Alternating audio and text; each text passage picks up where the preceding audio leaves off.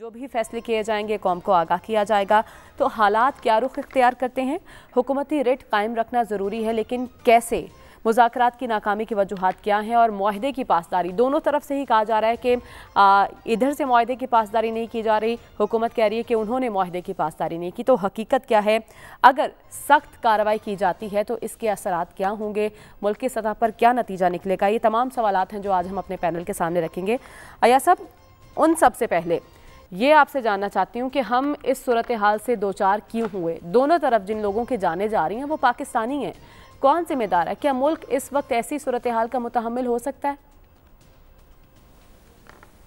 नहीं, पर जब आप आपकी पॉलिसी कमज़ोरी हो और आप फिसलते जाएँ और जहाँ पे आपको स्टैंड लेना चाहिए, आप वहाँ स्टैंड लेने से कासर हों।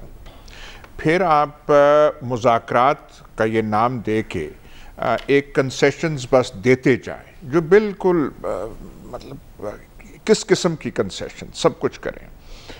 यहाँ तक हालात पहुँचने नहीं चाहिए थे, ये नौबत नहीं आनी चाहिए थी। अब तो बिल्कुल सर पे आ गई है और हुकूमत ने अब ये स्टैंड लिया है, जो उसे पहले स्टैंड लेना चाहिए था।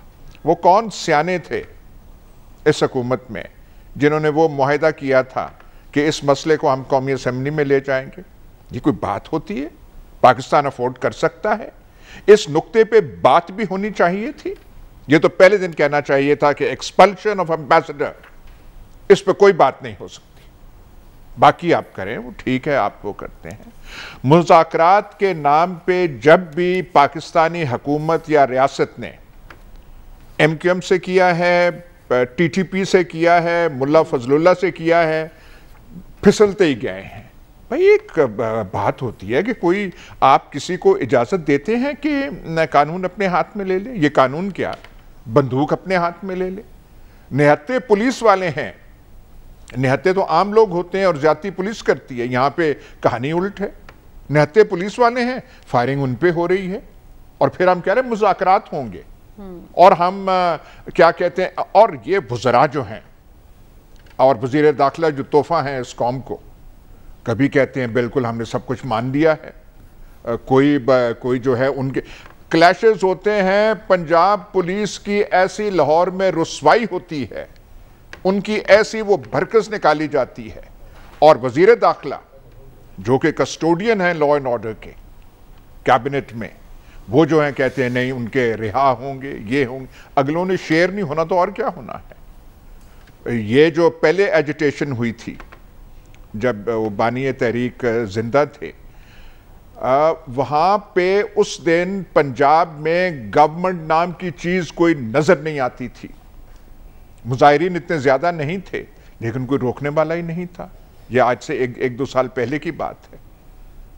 यहाँ तक आप यहाँ उससे पहले वो जो फैजाबाद धरना हुआ था हम्म। जिसमें वो काजी फैज ईसा का जजमेंट भी थी। जी जी। वहाँ पे आप उन्हें मुंतशिर करके उन्हें पैसे दे रहे हैं कि आप जाएँ और ये करें वो करें।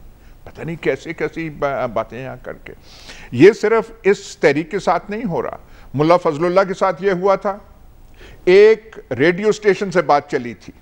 जो मर्ज़ी आया मुल्ला फजलुल्लाह का उस रेडियो स्टेशन पे वो कहता रहा कहता रहा। हालाँकि कहता वो लफ्ज़ बहुत वो है कहना तो मुझे कुछ और चाहिए था। रोकने वाला कोई नहीं। टीटीपी जो है यहाँ पे फाटा में नेक मोहम्मद से एग्रीमेंट हो रही है। बड़े बड़े अफसरान जा रहे हैं, उन्हें हार पहना रहे हैं और वहाँ पे अमलन, एक आज़ाद रियासत फाटा में कायम हो गई थी। वो जब पानी यहाँ तक पहुँचा था, फिर जाके 2014 में ऑपरेशन हुआ और तब भी कोई सिविलियन लीडर कोई पॉलिटिकल पार्टी बशमूल खान आज़म इमरान खान तैयार नहीं थे कि हमें सख्त इकदाम लेना चाहिए। हम्म। वो तो हालात जब बिल्कुल ही आपके कंट्रोल से नि, निकल गए। एमक्यूएम के साथ ये हुआ था कितनी कंसेशंस परवेज मुशरफ की गवर्नमेंट ने औरों ने दी। उन्होंने अपनी अमलन एक इंडिपेंडेंट रियासत कराची में कायम कर ली थी। उनकी रिट चलती थी किसी और की नहीं चलती थी। हम्म। हुक्म उनका चलता था।